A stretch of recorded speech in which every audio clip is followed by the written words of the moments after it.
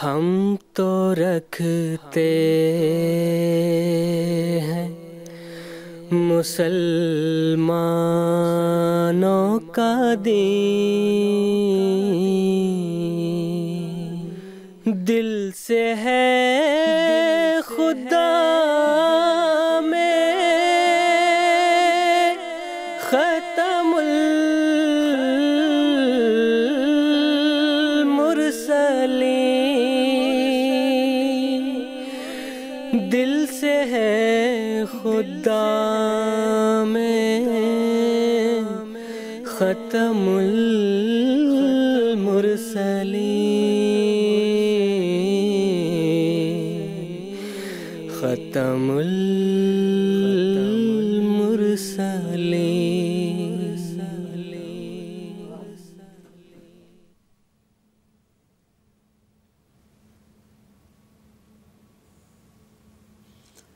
अउज़बिल्लिमिनशैतरजीम बसमीम नाजरीन कराम अस्सलामुअलैकुम वरहमतुल्लाहि वबरकातुहू।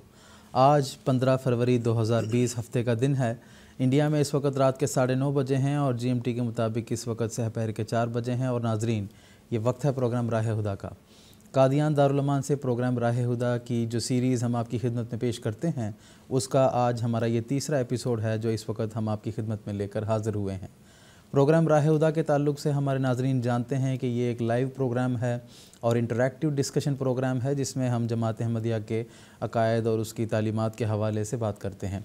हम अपनी स्टूडियो डिस्कशन के साथ साथ अपने मुशाहिदीन को भी अपने इस प्रोग्राम में शामिल करते हैं। टेलीफोन लाइंस के ज़रिए से उनको अपने साथ जोड़ते हैं और उनके सवाल सुनते हैं और कोशिश करते हैं कि हमारे इस प्रोग्राम के दौरान ही हमारे मुशाहिदीन के सवाल के जवाब भी इसी प्रोग्राम के ज़रिए से उनकी खिदमत में पेश किया जाए। तो नाजरीन, हमारे साथ अगर आप अपना रबता जोड़ना चाहते हैं तो हमसे रबते की जो है ना मुख्तलिफ़ सहूलियात मौजूद हैं। टेलीफोन लाइंस के ज़रिए से आप हमसे रबता कर सकते हैं और अपने सवाल हम तक पहुँचा सकते हैं। इसके अलावा टेक्स्ट मैसेजेस और फैक्स मैसेजेस और ईमेल्स की भी सहूलत मौजूद है, जिनसे इस्तेफ़ादा करते हुए आप अपने सवाल हम तक पहुँचा सकते हैं। तो नाजरीन, आज के एपिसोड में आप हमारे साथ जुड़ना चाहते हैं तो हमसे रबते की तफसील में उम्मीद करता हूँ कि इस वक्त आप अपने टेलीविज़न स्क्रीन पर मुलायजा फरमा रहे होंगे।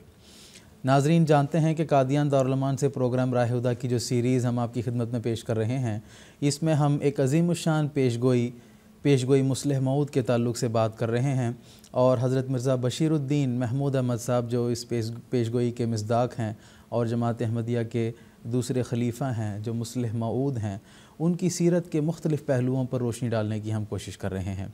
गुज्त दो एपिसोड जिन्होंने देखा होगा वो बखूबी जानते हैं कि पहले एपिसोड में हमने हज़रत मुस्लिम मौद रज़ी तु की सीरत, ताल्लुक़ बिल्ला के आईने में, उसका हमने तफसीलात आपकी खिदमत में पेश की हैं और दूसरे एपिसोड में जो खिदमत कुरान की तोफ़ी अल्लाह ताला ने आपको अता फ़रमाई थी, उसके ताल्लुक से हमने बात की है। और आज के एपिसोड में, आ, हज़ूर अलैहि वसल्लम के इश्क का जो पहलू है जो हज़रत मुस्लिम रज़ी तु की सीरत का एक बहुत ही उम्दा और हसीन पहलू है, उसको रोशनास करने की और उसके मतलब कुछ तफसील आपकी खिदमत में पेश करने की हम कोशिश करेंगे। आज के इस अहम मौजू पर गुफ्तु के लिए जो कराम इस वक्त हमारे साथ कादियान स्टूडियोज़ में तशरीफ़ रखते हैं, मैं उनका तारुफ़ करवा देता हूँ। मुकरम मोहतरम मौलाना जैनुद्दीन साहब हामिद हैं और उनके साथ तशरीफ़ रखते हैं मुकरम मोहतरम मौलाना मोहम्मद हमीद कौसर साहब। दोनों हजरात हमारे प्रोग्राम राहुदा के रेगुलर और पुराने पैनलिस्ट हैं। मैं आप दोनों हजरात का प्रोग्राम राहुदा में खैर मकदम करता हूँ। नाजरीन कराम पेश गोई मुस्लिम कोई आम पेश गोई नहीं है, बल्कि ये एक अजीम शान निशान आसमानी है, जिसमें दरअसल अल्लाह ताला ने हज़रत अकदस मोहम्मद मुस्तफ़ा सल्लल्लाहु अलैहि वसल्लम की शान और शौकत और आपकी सदाकत व अज़मत का इजहार फरमाया है। पेशगोई मुस्लिम मऊद का जब हम मुताल करते हैं और उसको पढ़ते हैं तो उसमें हज़रत मुस्लिम मऊद की एक ख़ास खूबी ये भी बयान की गई है कि जो हजूर अलैहि वसल्लम को इनकार और तकजीब की निगाह से देखते हैं, उनके लिए इस पेशगोई में एक खुली खुली निशानी रखी गई है। चुनानचे जब इस हवाले से हम हजूर हम हज़रत मुस्लिम रज़ी तु की सीरत का जायज़ा लेते हैं तो हजूर सल्लल्लाहु अलैहि वसल्लम से आपका जो इश्क था और हजूर सल्लल्लाहु अलैहि वसल्लम की सीरत को और आपके आला वारफा मकाम से दुनिया को रोशनास कराने के लिए जो हज़रत मुस्लिम रज़ी तु की खदमात हैं, वो एक बेनज़ीर और बेमिसाल खदमात हैं।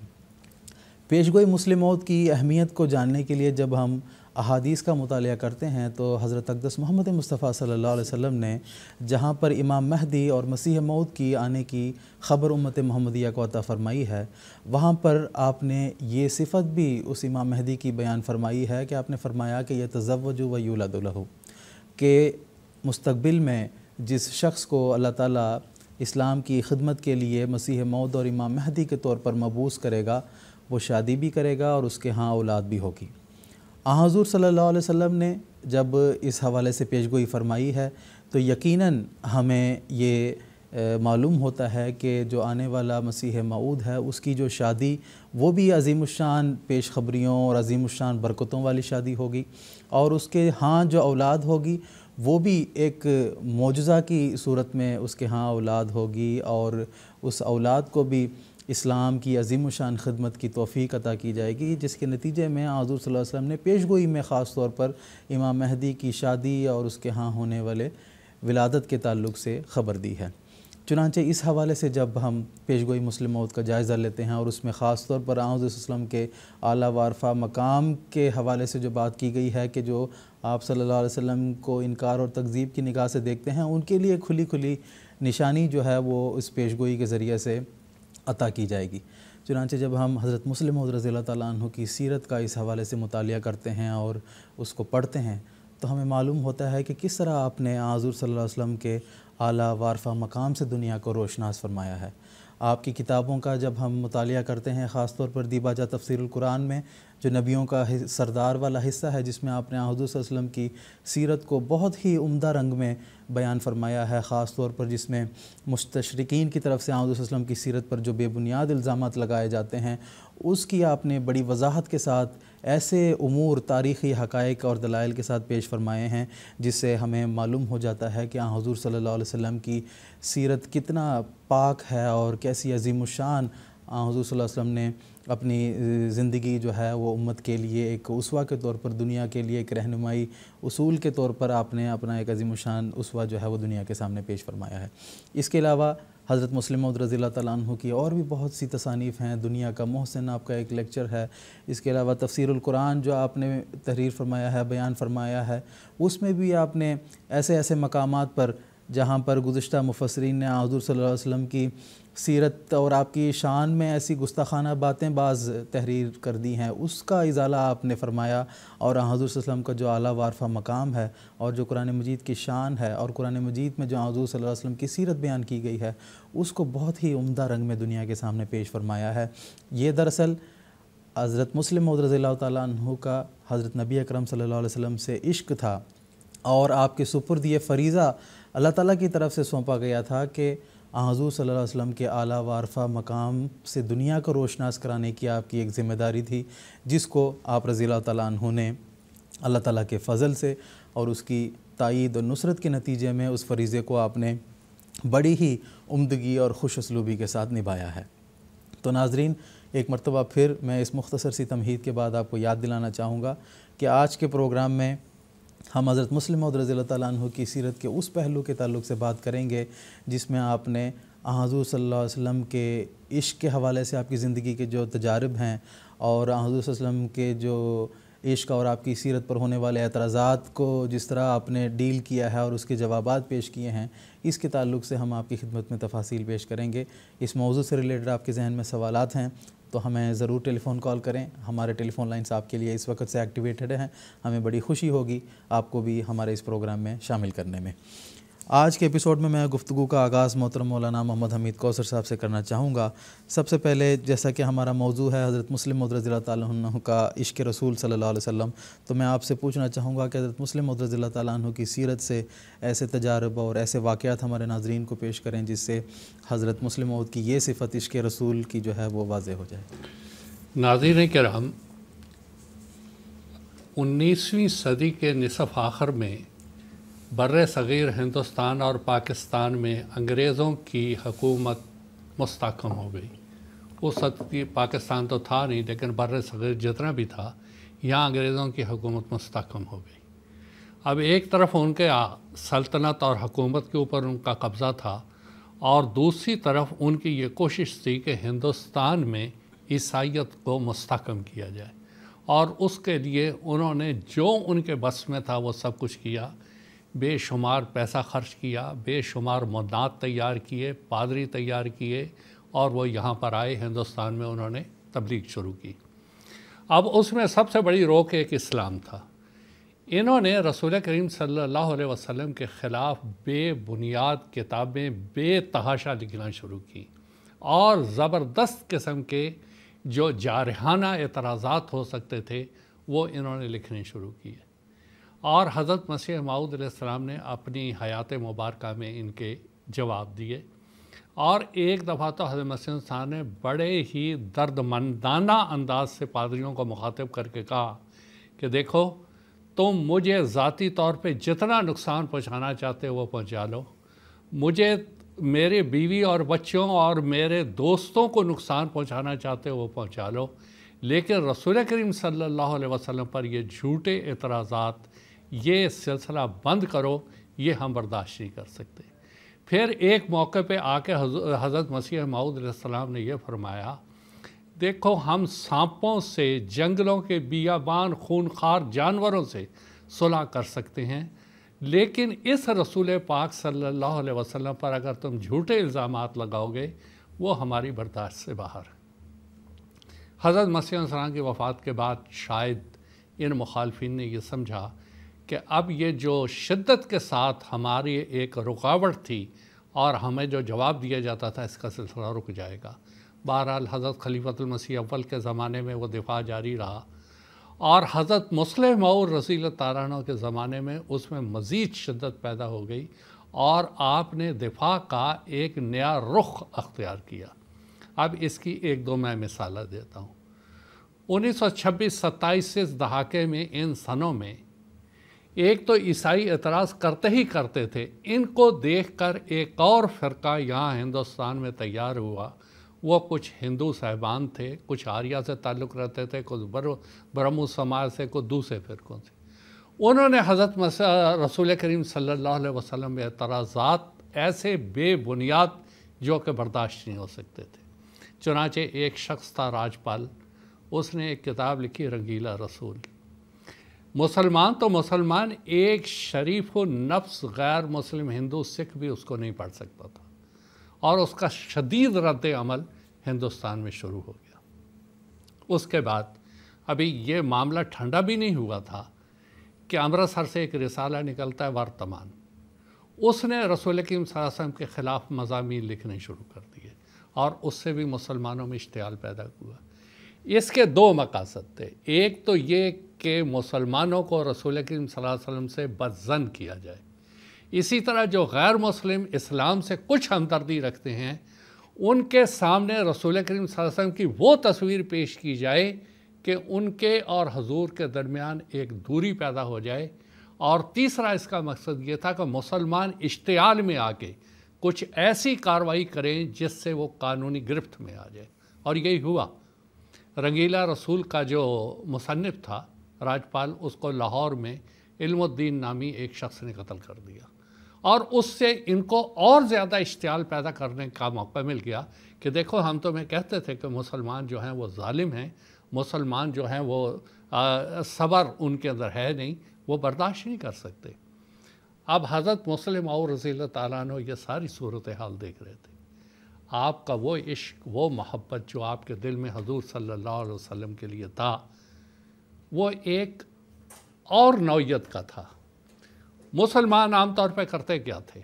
इनकी मोहब्बत रसूल करीम से आज तक वो यही है कि कवालियाँ गाना, मैं मदीने जाऊँ, मदीने आऊँ, मदीने रहूँ, मदीने ये करूँ, मदीने वो करूँ, इनकी मोहब्बत इस हद तक है।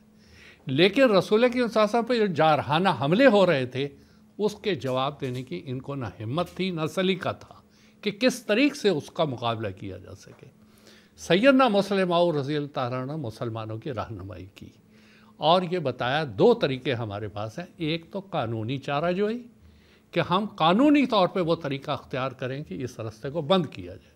और दूसरा, हज़रत मुस्लिम रज़ी तारा ने फरमाया कि हमें हमारे इश्क, हमारी मोहब्बत का तकाजा रसूल के से ये है कि हम इसके जवाब तैयार करें। और लोगों के दिलों में जो हजूर वसल्लम के लिए ये नफ़रत, कराहियत और दूरी पैदा करने की कोशिश की जा रही है, इसके बिलमुकाबिल हम उनके दिलों में मोहब्बत पैदा करें। चुनाचे वो कानूनी कार्रवाई की गई, कानून कानून अपना काम करता है। वो जिसने ये मजमून लिखा था, उसको एक साल की या कुछ सज़ा हो गई और वो जेल में जाने लगा या जो भी था, उस पर अपील हुई, वो बात छोड़ दे, छोड़ते हुए हज़रत और रसील ताला ने इस मौके पे अपनी मोहब्बत का इजहार जो रसूल के के लिए किया, वो आपके उन खतबात और तकारीर से वो ज़ाहिर होता है। बहरहाल वो तो एक लंबी बात है। उस सबको छोड़ते हुए जब इस शख्स ने वर्तमान वाले ने ये मजमून लिखा और उसको सज़ा हुई तो हजूर ने उस वक्त अपना एक जवाब दिया और हजूर ने फरमाया, मेरा दिल गमगीन है। क्योंकि मैं अपने आका, अपने सरदार हज़रत मोहम्मद सल्लल्लाहु अलैहि वसल्लम की हतक इज़्ज़त की कीमत एक साल के जेल खाने को करार नहीं देता। मैं उन लोगों की तरह जो कहते हैं कि रसूल सल्लल्लाहु अलैहि वसल्लम को गालियाँ देने वाले की सज़ा कत्ल है, एक आदमी की जान को भी इसकी कीमत करार नहीं देता। मैं एक कौम की तबाही को भी इसकी कीमत करार नहीं देता। मैं दुनिया की मौत को भी इसकी कीमत करार नहीं देता। मेरे लिए उस वक्त तक खुशी नहीं, जब तक तमाम दुनिया के दिलों से मोहम्मद सल्लल्लाहु अलैहि वसल्लम का बोक्स निकाल कर उसकी जगह आपकी मोहब्बत कायम न कर लो। ये है असल मोहब्बत और इश्क का तकाजा। सच्चे मुहिब का तकाजा। कि इस वक्त ज़रूरत है रसूल करीम वसल्लम की मोहब्बत दिलों में पैदा करना। इंसान ख़ुद तो मोहब्बत करता ही करता है, मगर दुश्मनों के दिलों में मोहब्बत पैदा करना ये सबसे बड़ा काम था, और ये हज़रत मुसलम रज़ी ने किया। आपने सिर्फ़ ये मजमून लिखने तक ही आपकी ये कोशिश का इख्तसार नहीं रहा, बल्कि आपने इसके लिए एक अमली प्रोग्राम बनाया। आपने ये मुकर किया कि साल में एज एक दिन ऐसा मनाया जाए या ऐसे प्रोग्राम बनाए जाएँ जिसमें गैरों को बुलाया जाए और गैरों को कहा जाए, वो रसूल के इंसान की मोहब्बत में मजामी लिखें। और इसके लिए आपने तीन उनवान मुकर किए। आपने फरमाया, सबसे पहले रसूल करीम सल्लल्लाहु अलैहि वसल्लम के एहसानात जो मखलूक खुदा पर हैं, उसको पहले जमा किया जाए। दूसरा रसूल के वसल्लम की सीरत तैयबा के ऊपर काम होना चाहिए। और तीसरा हजूर सल्लल्लाहु अलैहि वसल्लम के जो ताल्लुकात दूसरों के साथ थे, उस बारे में तकारीर होनी चाहिए। और जो आपकी कुर्बानियाँ थी, इस बारे में तकारीर होनी चाहिए। उस पर आपने फरमाया कि एक हज़ार मुकर्रीन को जमा किया जाए और उनको इस बात के लिए तैयार किया जाए कि रसूल करीम की सीरत के ये पहलू जो आपकी खसूसियात और सिफात हैं, उसको उजागर किया जाए मजामी लिखे जाएँ। और इसके लिए आपने ये तहरीक फरमाई कि गैर मुस्लिम जो संजीदा तबाह हैं, उनको भी इसमें शरीक किया जाए कि वो भी इस पर मजामी लिखें। और आपने ऐलान किया कि मजामी लिखने वालों को हम इनाम भी देंगे। हज़रत मसीह माऊदम के ज़माने में भी ये बात थी कि वहाँ पर हम उनसे ज़िक्र किया कि प्रकाश देव जी ने एक सीरत की किताब लिखी थी और हजूर ने फरमाया था, ये हर घर में होनी चाहिए। तो हज़रत मुस्लिम और रज़ी अल्लाह उसी तरीक पर आपने भी ये तहरीक की कि संजीदा तबा जो हमारे हिंदू हैं, सिख हैं, ईसाई हैं, उनको भी ये इस बात पे आमादा और रजामंद किया जाए कि वह रसूल की सीरत के बारे में मजामी लिखें तकारीर करें और लोगों के सामने आएँ और हजूर की सीरत को नुमाया करके लोगों के सामने पेश करें। अब ये सारा प्रोग्राम था और इस प्रोग्राम पर जब जमात ने अमल किया तो बहुत से मुकर्रीन इसके लिए तैयार हुए, बहुत से सहाफ़ी इसके लिए तैयार हुए और उनको जमात की तरफ़ से मवाद फराहम किया गया और उन्होंने उसकी रोशनी में बहुत अच्छे मजामी लिखे, बहुत अच्छे लेक्चर दिए, जिसकी वजह से अवामनास को ये पता चला कि रसूल करीम सल्लल्लाहु अलैहि वसल्लम के दिल में, रसूल करीम वसल्लम के दिल में मखलूक खुदा की कितनी हमदर्दी थी, कितनी मोहब्बत थी, हजूर वसल्लम की कितनी कुर्बानियाँ थी मखलूक खुदा के लिए, वो सब के सब उन मजामी में आया। और फिर हज़रत मुसलम और रज़ी तु ने जमात के सामने बहुत से और प्रोग्राम पेश किए। हजूर ने तहरीक जदीद को जारी किया और बहुत से मजामी का तरीका शुरू किया और फिर उसमें हजूर ने फरमाया बड़े दिली जज्बे के साथ, जो हजूर के दिल में रसूल करीम सल्लल्लाहु अलैहि वसल्लम की मोहब्बत थी। आप ये फरमाते हैं, इसी गर्ज के लिए मैंने तहरीक जदीद को जारी किया है। इसी गर्ज के लिए मैं तुम्हें वक़ की तालीम देता हूँ। सीधे आओ और खुदा के सिपाहियों में दाखिल हो जाओ। मोहम्मद रसूलुल्लाह सल्लल्लाहु अलैहि वसल्लम का तख्त आज मसीह ने छीना हुआ है। तुमने मसीह से छीन कर वो तख्त मोहम्मद रसूलुल्लाह सल्लल्लाहु अलैहि वसल्लम को देना है और मोहम्मद रसूलुल्लाह सल्लल्लाहु अलैहि वसल्लम ने वो तख्त खुदा के आगे पेश करना है। खुदा ताला की बादशाहत दुनिया में कायम होनी चाहिए। बस मेरी सुनो और मेरे पीछे, मेरी बातों के पीछे चलो। मैं जो कुछ कह रहा हूँ, वो खुदा कह रहा है। मेरी आवाज़ मेरी आवाज़ नहीं है। ये खुदा, मैं खुदा की आवाज़ तुमको पहुँचा रहा हूँ। तुम मेरी मानो, खुदा तुम्हारे साथ हो, खुदा तुम्हारे साथ हो। ये रसूल करीम, हज़रत मुसलम और रसी तु की मोहब्बत थी रसूल करीम सल्लल्लाहु अलैहि वसल्लम के लिए।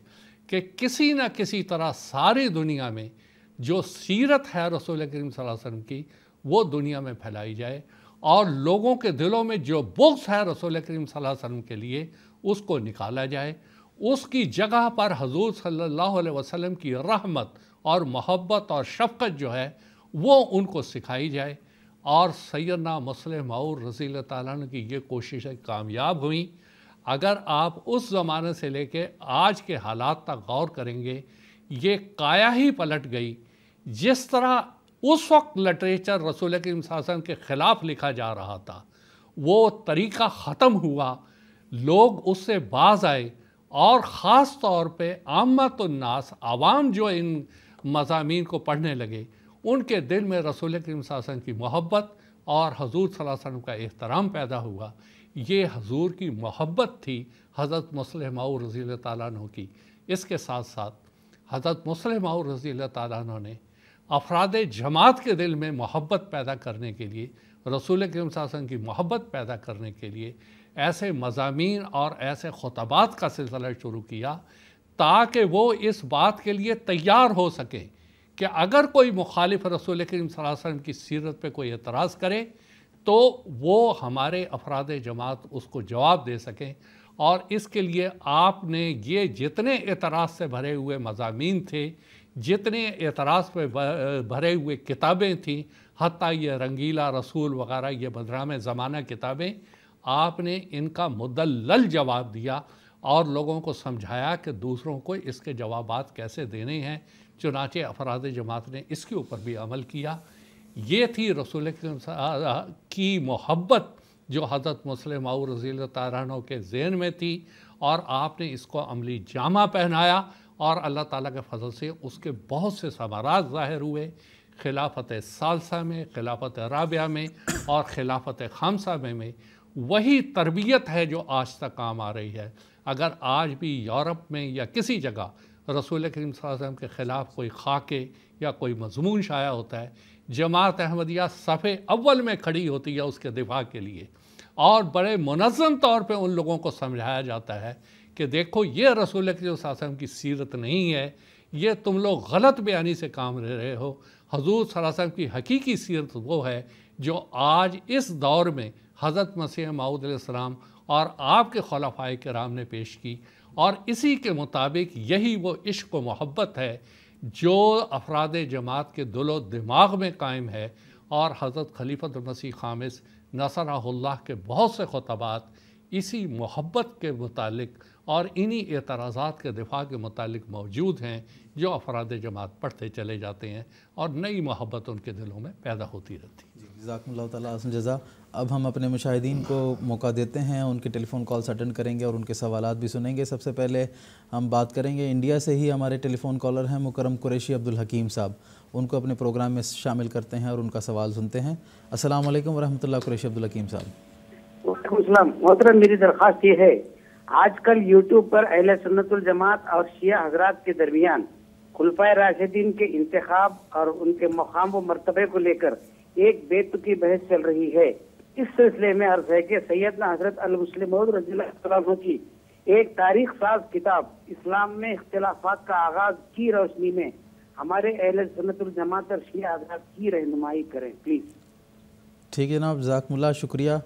ये किताब अलिस्लाम डॉट ओ में भी मौजूद है, अंग्रेज़ी में भी इसका तजर्बा तर्जुमा मौजूद है।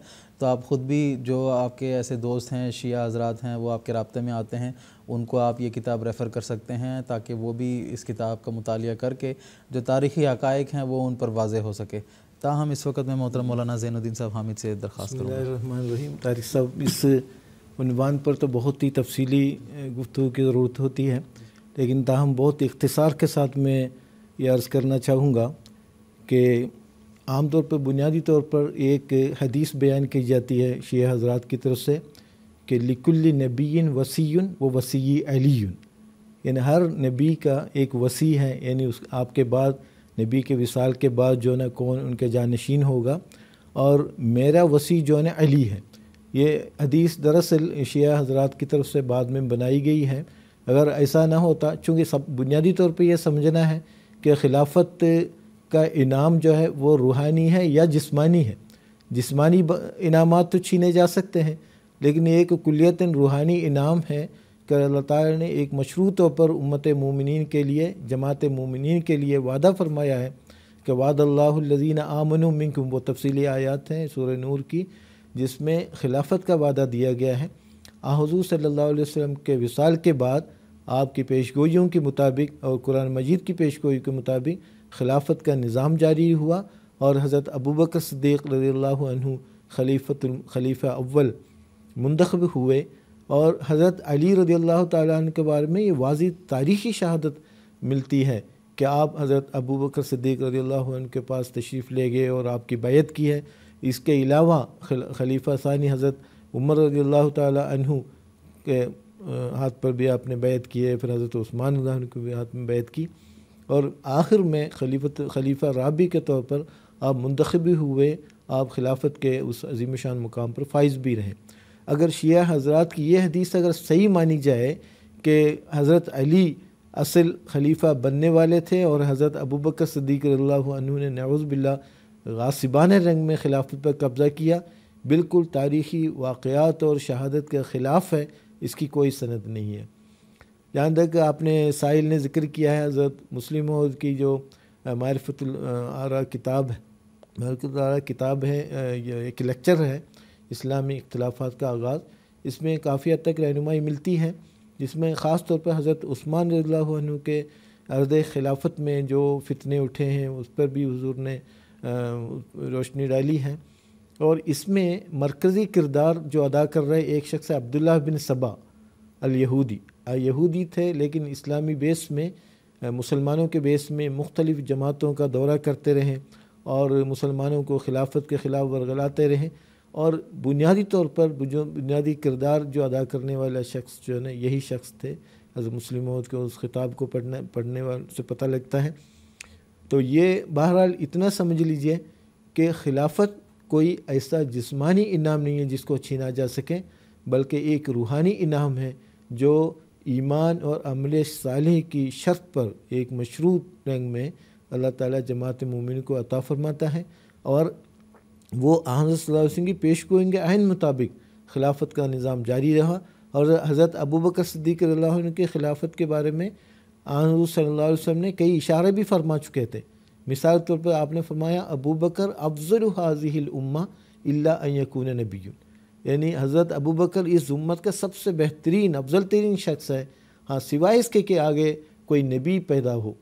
चूँकि हजूर सल्ला वसम की पेशगोई के मुताबिक चौदह सदी में हज़रत मसीम वसलाम नबूत के आला मुकाम पर फाइज होकर तशरीफ़ लाने वाले थे।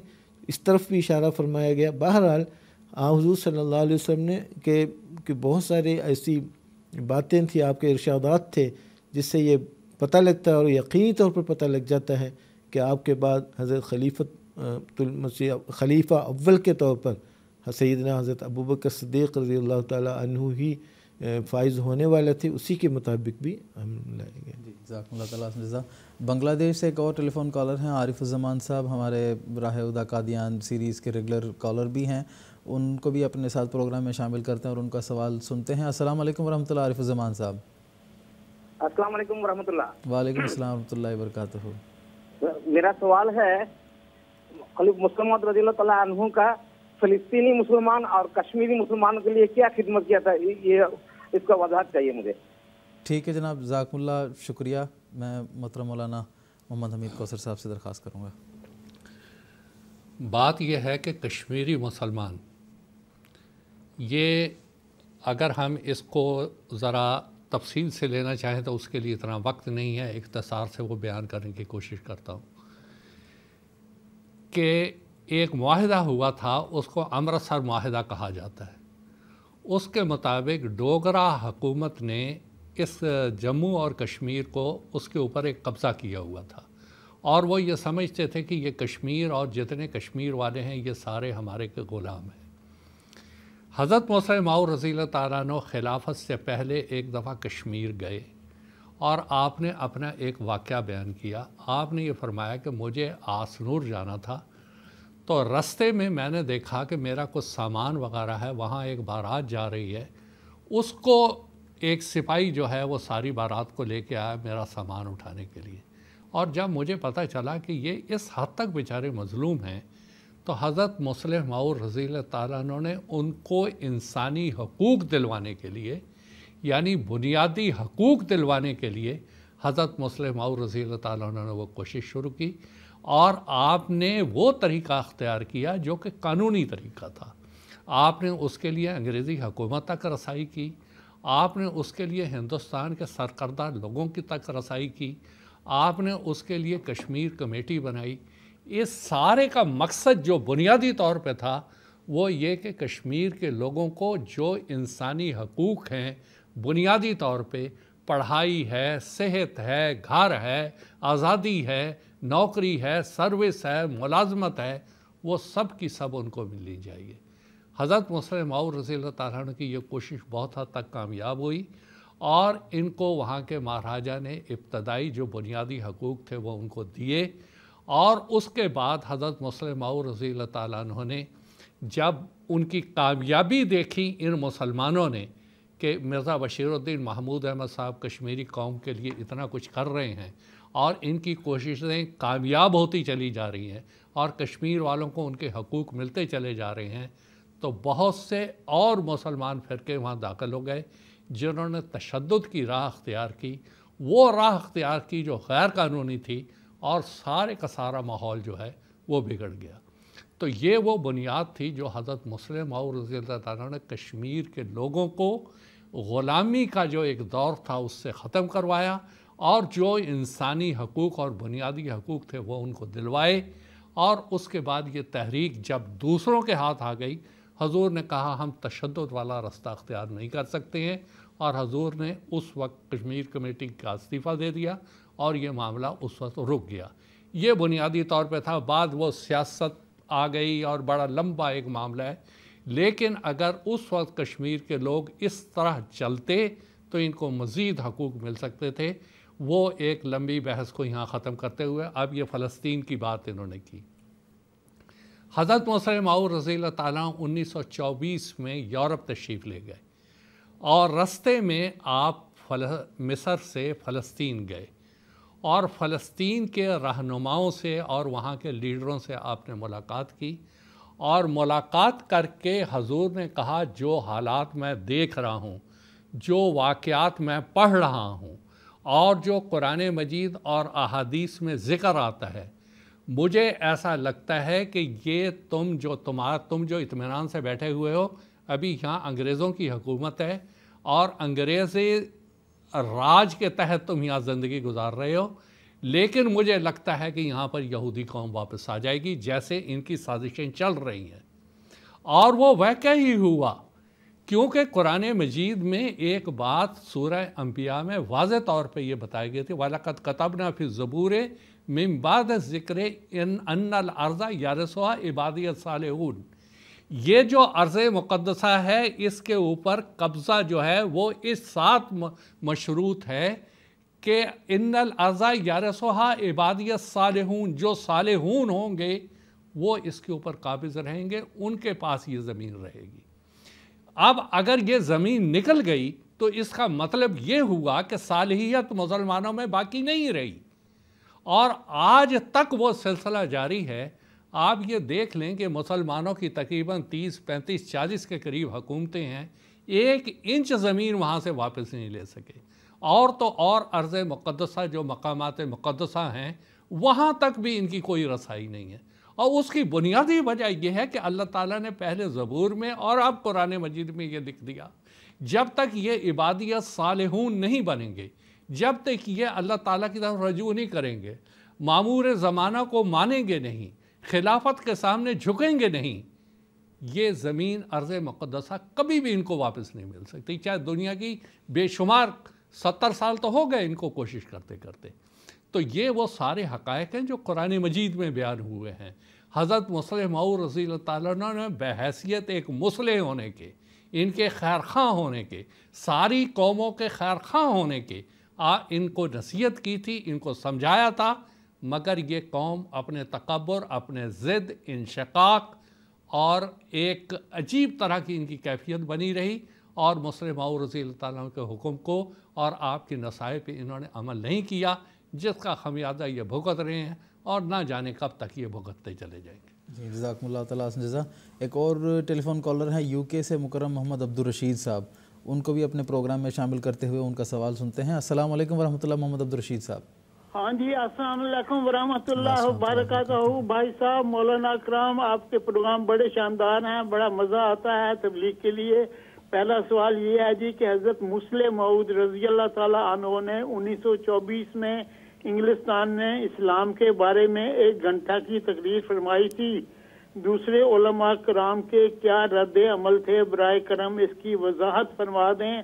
और दूसरा सवाल आज इसका ये है जी कि हज़रत मुस्लिम मऊद रज़ी अल्लाह तला ने सूरत अल बकरा आयत नंबर 214 पर तफसीर सगीर में तमाम लोगों को उम्मत वाहदा बनने की ताकीद फरमाई है और बार बार ज़ोर दिया है कि उम्मत वाहदा बन जाओ। इसके बारे में फ़ीस माना ज़रूरत है। बर करम इस, इसकी भी वजाहत फरमा दें ताकि तबलीग के लिए आसानी हो। जजाकमुल्ला जजाकमुल्ला शुक्रिया। मोहतरम मौलाना मोहम्मद हमीद कौसर साहब से दरखास्त ये जो साहिल लंदन से सवाल कर रहे हैं इनको तो ज़्यादा पता होना चाहिए। हज़रत मसर माओ रज़ी तालन का जो ख़िताब जलील था वहाँ पर उसके जो असरात थे उसके अल्लाह के फजल से बहुत बड़े असरात ज़ाहिर हुए। वो तफसील सारी तारीख़ अहमदियत में मौजूद है। अखबार ने जो उस वक्त लिखा वो भी मौजूद है। वो सारा ये तारीख़ अहमदियत से देख सकते हैं, वहाँ से निकाल सकते हैं और वो बड़ी आसानी से दस्तियाब है। अमूमी तासर ये है कि हज़रत मुसलम और रज़ी तारा को जो लेक्चर था, अहमदियत हकीकी इस्लाम के नाम से वो छपा हुआ भी है। उस सारे लेक्चर को पढ़ लें तो हज़रत मुसलम और रज़ी तारा की ये कोशिश थी कि इस्लाम के बारे में जो गलत फहमियाँ यूरोप में पैदा हुई हुई हैं, उनका किसी तरह से इजाला किया जाए और सही और साफ़ इस्लाम जो हज़रत मोहम्मद सल्लल्लाहु अलैहि वसल्लम ने दुनिया को जिससे मुतारफ़ करवाया, जिसकी बुनियाद रखी, उससे दुनिया को आगाह किया जाए। और यही हज़रत मसलम रज़ी तु की कोशिश थी, जो इसके लिए आप वहाँ तशरीफ़ ले गए थे। बाकियों के भी पेपर पढ़े गए, किताबें पढ़ी गई। लेकिन सबसे ज़्यादा जो सराहा गया, वो हज़रत मुसलम रज़ी तन को ये ख़िताब था, हजूर का ये लेक्चर था। और उस ज़माने में जिन लोगों ने ये सुना था, उसमें से एक से मैंने सुना कि वो इत्तफाक से दोनों ही लेक्चर उन्होंने सुने हुए थे। हज़रत मसीह माऊद वसलाम का इस्लामी असूल की फ़लासफ़ी का किताब भी सुना था और उसके बाद ये लेक्चर भी उन्होंने सुना था। उनका कहना ये था कि इस ख़िताब की जो इस्लामी असूल की फ़लासफ़ी वाला ख़िताब है उसकी झलक वहाँ नज़र आती थी। अब ये सारी की सारी बातें थीं कि इसके असरात वहाँ बहुत ज़्यादा हुए, जैसे इस्लामी असूल की फ़िलासफ़ी के, वैसे ही इस खिताब के अखबारात ने इसके बारे में बहुत वजाहत से लिखा। अब इनका जो दूसरा सवाल है 214 आयत के बारे में, उम्मत वाहिदा बनाना। हज़रत मसीह माऊद सलाम ने दुनिया के सामने एक निज़ाम पेश किया।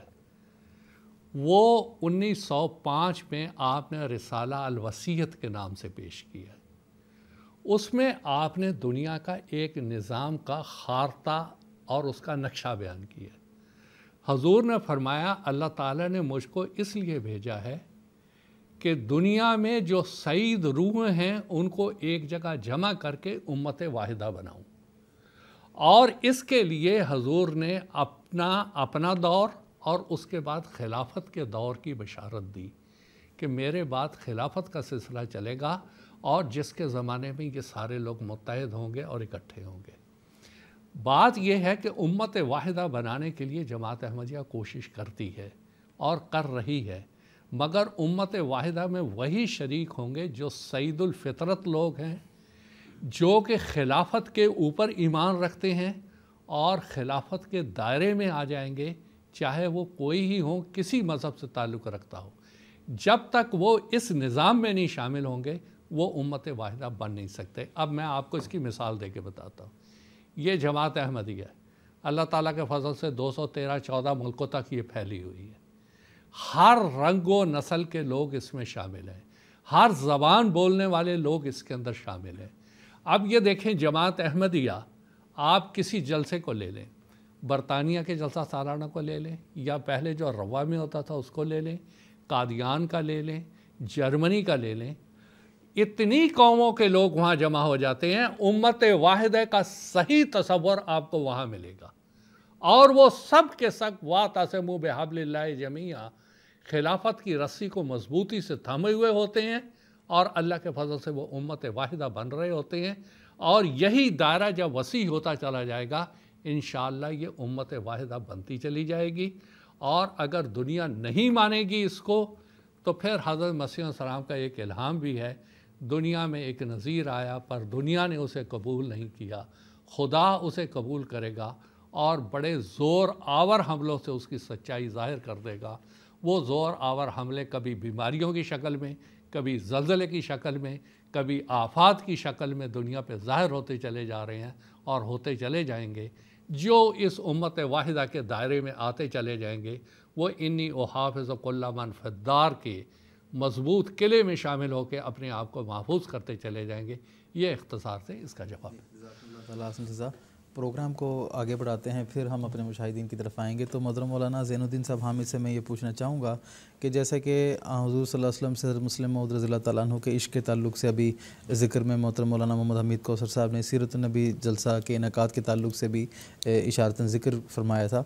तो मैं आपसे इस हवाले से तफसील जानना चाहूँगा क्योंकि ये भी हज़रत मुस्लिम रज़ी तु की वसल्लम से मोहब्बत का एक इजहार है।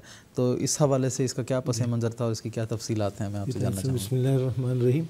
जब हम हज़रत अक्तस खलीफ़ुलमसानी मुस्लिम मौद रदी की सीरत का मताल करते हैं।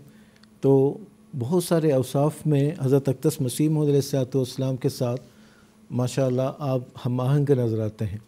एक तो यह है कि क्यों ना ऐसा हो कि हज़रत अक्तस मसीम के तमाम तर अवसाफ़ हमीदा और दीगर तमाम अवसाफ़ में आप कामिल तरीन नज़र आते हैं।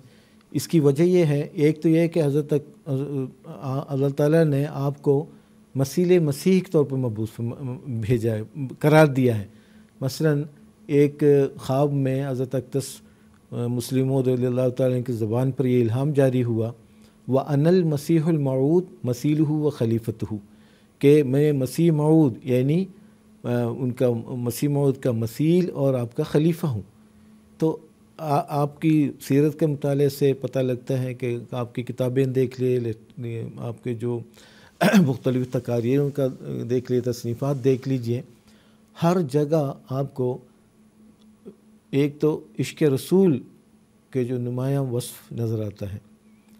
हज़रत अक्तस मसीह ने बारहा फरमाया है कि ये जो अजीम शान मनसब आपको अता हुआ है, वो इश्क रसूल की वजह से अता हुआ है। चुन- चुनांचे आपका ये कहा जाना कि हाजा रजुल युहिब रसूल अल्लाह कि ये एक अजीम शान मर्द है, शख्स है, जो अल्लाह अल्लाह के रसूल से मोहब्बत करते हैं। तो इसी बिना पर अल्लाह ताला ने इस ज़माने की असलाह के लिए हज़रत अक्तस मसीम को मबूस फरमाया और हज़रत मुस्लिम तु के अंदर भी ये ये ये वस्फ़, ख़ास तौर पर इश्क रसूल का वस्फ़ जो है बहुत नुमाया तौर पर पाया जाता है। चूँकि आप, आपके एक तो ये कि आपको, आप हज़रत अक्तस मसीम सलाम के फ़र्जंद होने की वजह से भी और आपके मऊद खलीफा होने की वजह से भी और इसके अलावा वो अजीम शान पेश गोई जो मुस्लिमों की पेश गोई के नाम से मरूफ़ है, उस पेश गोई के मस्ताक होने की वजह से भी वो हज़रत अक्तस मसीम सलाम के बहुत सारे मैक्सिमम सिफात जो ना आपके अंदर पाए जाते हैं। तो आपके इश्क रसूल की एक मिसाल आपके ज़रिए से जलसे जो सीरत नबी सल्लल्लाहु अलैहि वसल्लम की बुनियाद है। इसकी, इसका क्या पस मंज़र है? क्यों हज़रत अक्तस मुस्लिम तु ने इसका ऐलान फरमाया है। वो इख्तसार के साथ मैं बयान करता हूँ। एक तो है कि वो ज़माना वो था जिसमें हजूर सल्ला वसल्लम की मुक़दस सीरत के ख़िलाफ़, आपकी शान के ख़िलाफ़ गुस्ताखियों का बहुत ज़्यादा बाज़ार गर्म था। ख़ास तौर पर उस ज़माने में एक किताब शाई हुई हिंदुओं की तरफ़ से। उसका नाम है रंगीला रसूल। इसी तरह उस ज़माने के एक रिसाला था वर्तमान करके। इन दोनों में ऐसे मजामी दिल आज़ार मजामी शाये होते गए और इस किताब में भी ऐसे हजूर सल्लल्लाहु वसम की मुक़दस सीरत को बिगाड़ कर आपको एक ऐसे ऐसे ऐसी बातें आपकी तरफ़ मंसूब की गई। तो पूरे बर सग़ीर हिंदो पाक में जो अमन तबाह होने लगा और इसी तरह जो हिंदू, मुस्लिम, कश्मीर, फ़िरका वाराना कशीदगी बहुत ज़्यादा ज़ोरों पर थी। और मुसलमान जो मुख्तलिफ़ तंजीमों में बटे हुए, मुख्तलिफ़ फ़िरक़ों में बटे हुए, वो ये फ़ैसला नहीं कर पा रहे थे, इसका दिफा कैसे मुमकिन है? किस तरीके से हम इस माहौल को, इस कशीदगी के माहौल को, फितन फसाद के माहौल को और किस तरह हम अमन में तब्दील कर सकते हैं? उस ज़माने में हज़रत तख्तस मसीम मुस्लिम रज़ी तु को अल्लाह ताला ने यह तजवीज़ इल्का फरमाई, आपने एक तो बहुत गहरा मुताल किया, आखिर जो गैर मुसलमानों की तरफ़ से वो हजूर सल्लल्लाहु अलैहि वसल्लम की सीरत पर कीचड़ कुचाले क्यों जा रहे हैं? क्या वजह क्या है कि हजूर सल्लल्लाहु अलैहि वसल्लम को, के ख़िलाफ़, आपकी शान के ख़िलाफ़ किस कदर गुस्ताखियाँ की जा रही है? आखिर क्या वजह है? आपने ये नतीजा निकाला कि जब तक हजूर सल्लल्लाहु अलैहि वसल्लम की सीरत के मुख्त पहलुओं को उजागर न किया जाए आम चर्चा न किया जाए। आपकी सीरत के मुख्त पहलुओं को आपके आलमगीर एहसानात का तस्करा मुख्तलिफ़ हर मुल्क में, हर जगह पर, हर करिया करिया, बस्ती बस्ती, हर जगह पर जब तक ये आवाज़ न गूंजे तो ये इसका मुमकिन नहीं है, इसका इजारा मुमकिन नहीं है। आपने फरमाया कि आखिर ये इतराज़ क्यों करते हैं कि इसकी वजह एक तो ये है कि हज़रत अक्तस सल्लल्लाहु अलैहि वसल्लम की सीरत मुक़दसा से ये बाखबर नहीं है। आपने एक शायर का ये शेर बतौर दलील पेश फरमाया। आपने फरमाया कि आफा, आफ्ताब, आमद, दलील आफ्ताब। तो आफ्ताब सूरज अगर चढ़ा हुआ हो तो उसके लिए तो कोई दलील की ज़रूरत नहीं होती, सूरज है कि नहीं, सूरज क्या है। सूरज का चढ़ना ही काफ़ी है, सूरज की दलील है। तो सल्लल्लाहु अलैहि वसल्लम उन मुक़दस वजूदों में से हैं जिनके जिनके लिए कोई ज़ाहरी बैरूनी दलाइल की ज़रूरत नहीं होती। आपके ज़ात अक्तस नूर ही नूर है। सिर्फ़ ये है कि बाकी लोग अंधे हैं जो आपके नूर को, नूर नूर तक नहीं पहुँच पाते, आपको, आपके ख़िलाफ़ तरह तरह की बातें बयान करते हैं। तो एक तो यह है कि हज़रत अक्तस मुस्लिम रज़ी तु ने यह तजवीज़ पेश की और बहुत ज़बरदस्त स्कीम बनाई। दरअसल ये कुरान मजीद की वो जो आयत है, इदफ़ा बिल्लती ही अहसन फ़ैज़ल्लदी बैन का व बैन अदावत का अन्न वली हमीम इस आयत से आपने इस्तेमाल फरमाते हुए फरमाया कि ये है कि हम गालियों के बदले में गाली नहीं देंगे। अगर हजूर अलैहि वसल्लम की सीरत के ख़िलाफ़ अगर किसी ने मजमून लिखा है, आपकी सीरत को पामाल किया है, इसका मतलब नहीं हमारी तरफ़ से वैसे ही हथियार अपनाए जाएँ और उनके बाकी जो मजहबी लीडरों के ख़िलाफ़ बात की जाए, ऐसा नहीं है। ज़रूरत इस बात की है कि हज़रत अक्तस मोहम्मद मुस्तफ़ा अलैहि वसल्लम की सीरत के मुख्तलिफ़ पहलुओं को ख़ास तौर पर आपकी कुर्बानियाँ हैं, आपके आलमगीर एहसानात है, चूँकि आप रहमतुल्लामीन बन कर आए हैं।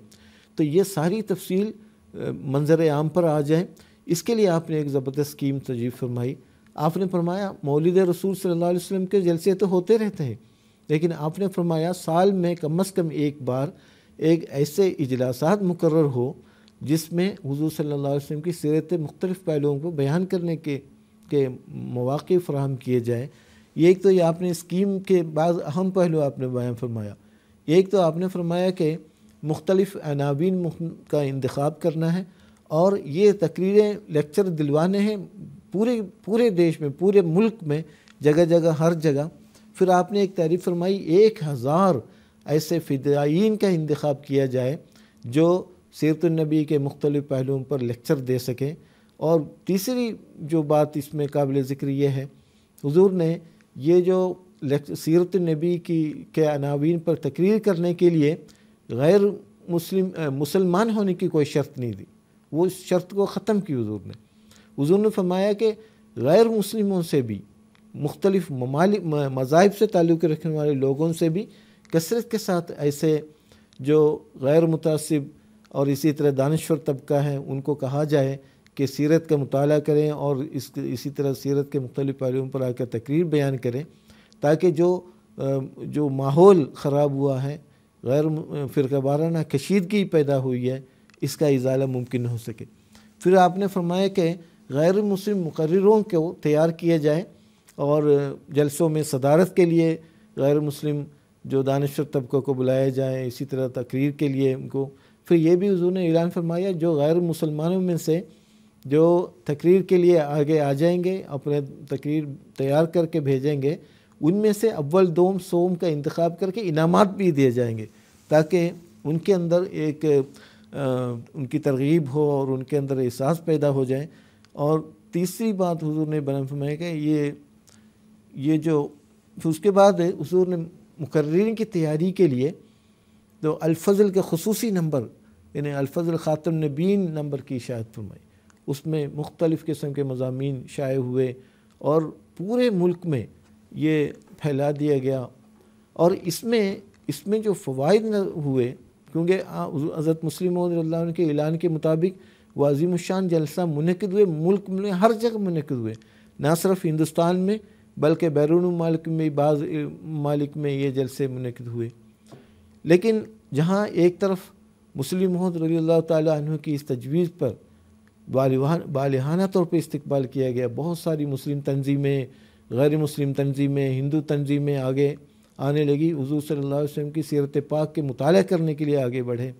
और दूसरी तरफ़ सितम बालाए सितम यह है कि मुसलमान की, की बाज़ तंजीमें बाज़ फ़िरके बाज़ मुसलमान इसकी शदीद मुखालफत भी करते रहे। और यहाँ तक बदनियाँ फैलाई और कहा कि पस पर्दा ये दरअसल कादियानियत की तबलीग के लिए ये कोशिश कर रहे हैं। हालाँकि ऐसा नहीं था हज़रत सल्लल्लाहु अलैहि वसल्लम की जो इज़्ज़त नामूस की हिफाजत के लिए आप कोशिश कर रहे थे, ये तजवीज़ पेश की और आपकी तजवीज़ बेहद कामयाब भी हो गई। और इसका एक तो ये फ़ायदा हुआ ये दुश्मनों की बहुत सारी गलतफहमियाँ दूर हो गई और इसके क्या क्या फ़वाद हुए, ये भी हैरत अंगेज़ है।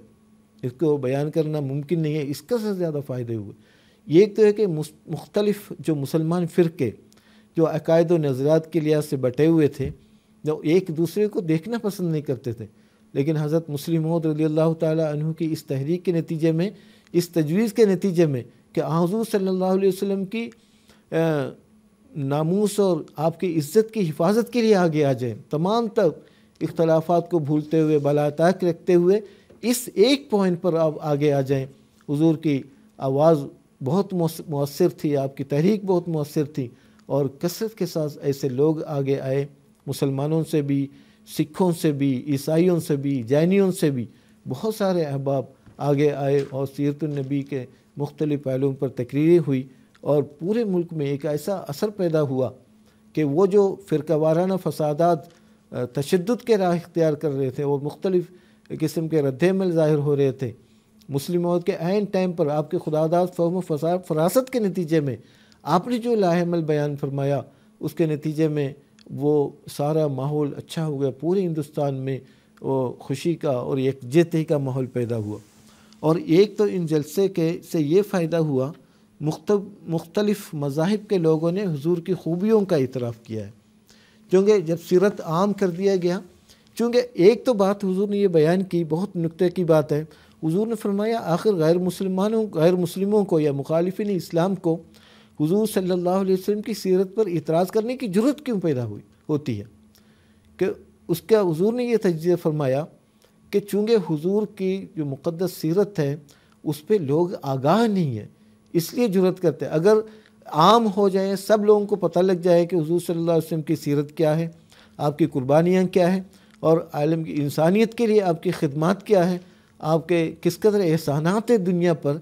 अगर आम तौर पर लोगों को पता लग जाए तो कोई किसी इतराज़ करने की ज़रूरत ही नहीं करेगा, उसको पता है कि बच्चे बच्चे को पता है आंसम की सीरत कैसी है। तो हजूर सल्ला वसम हजूर हज़रत मुस्लिम रज़ी अल्लाह की इन काविशों के नतीजे में ये अजीम शान तब्दीली इन लोगों के अंदर आ गई और एक ही प्लेटफॉर्म पर खड़े होकर मुख्तलिफ़ मकातब फ़िक्र के लोग, मुख्तलिफ़ मुसलमानों के फ़िक्र के सीरत नबी सल्लल्लाहु अलैहि वसल्लम पर तकरीर करने का उनको मौका मिला। और इसी तरह यह कि हिंदू, इस, इन काविशों के नतीजे में एक तो ये मालूम हुआ कि हिंदुओं में भी हम ये नहीं कह सकते, गैर मज़ाहब के लोगों में सारे के सारे जमात के या इस्लाम के सल्लल्लाहु अलैहि वसल्लम के मुखालिफ ऐसा नहीं है। कि आज़ सल्लल्लाहु, एक बड़ा तबका ऐसा निकला जो सल्लल्लाहु अलैहि वसल्लम की इज़्ज़त तकरीम करता था और आपकी सीरत मुक़दसा को के आगाही हासिल करने की ख्वाहिश रखते थे। तो ये जलसा जब मनद हुआ सत्रह जून उन्नीस उन्नीस सौ अट्ठाईस को और मुख्तलिफ़ जगह पर मुख्तलिफ़ इलाक़ों में, मुख्तलिफ़ शहरों में ये जलसे हुए। कादियान से में भी एक अजीम शान जलसा मनद हुआ जिसमें हज़रत मुस्लिम ने ख़ुद वो ज़बर नहात बसीरत अफजोल ख़िताब भी फरमाया वसल्लम की सीरत के मुख्तलिफ़ पहलुओं पर। और ये मुख्तलिफ़ जगह ये भी ख्वाहिश की जाने लगी कि ऐसे जलसे तो बार बार होने चाहिए। ये एक ऐसी तब्दीली थी जो गैर मुस्लिमों में पैदा हुई, मुस्लिमों की कोशिश के नतीजे में। और इसी तरह मुल्की इतिहाद पर भी बहुत अच्छा असर पड़ा। और उस ज़माने के बहुत सारे अखबारों ने, यानी बावजूद इसके के बहुत सारे मुस्लिम तंजीमों की तरफ़ से मुखालफत का सामना था और हिंदू तंजीमों की तरफ़ से मुखालफत का सामना था।